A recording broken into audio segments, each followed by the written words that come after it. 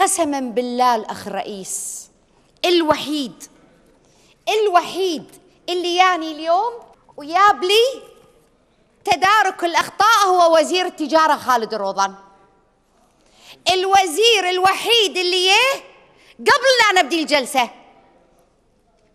كان يقول لي هذه أم عبد العزيز هذا ملخص كامل بتفادي كل الملاحظات اللي قلتوهم لنا. ولا وزير ثاني اهتم انه يجي أو يبين بعد ما هز لنا راسه خلال اجتماعات اللجان. نعم حاضر سنعمل سنتفادى سنتأكد سنحاول تجاوز هذه الأخطاء. وترد نفس الشيء. الوزير الوحيد اللي ما زلت أقول نشيط. وبارك الله فيك الأخ خالد الروضان. ولا وزير ثاني يعني.